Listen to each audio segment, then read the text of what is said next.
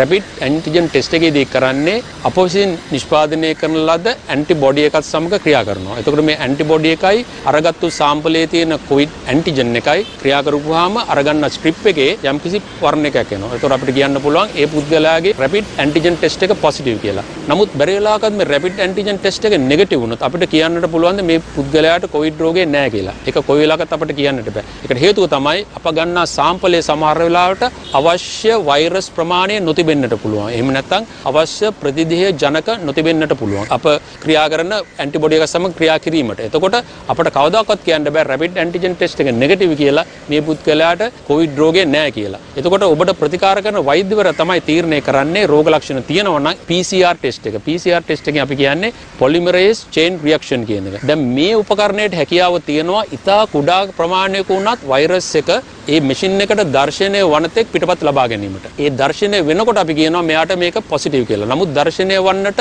ඒ machine එක ක්‍රියා කරන වාර ගාන වැදගත්. ඒ වාර ගාන 30ට වැඩි නම් අපි කියනවා එයාට PCR නෙගටිව් කියලා. PCR පරීක්ෂණය තමයි ඇත්ත වශයෙන්ම ඉතාමත්ම සංවේදී පරීක්ෂණය කොවිඩ් රෝගය සඳහා.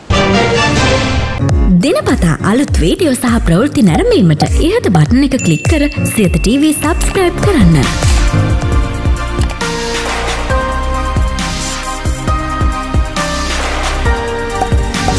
වීඩියෝ ගැන මුලින්ම දැනගන්න මෙම සීනුව කලික් කරන්න.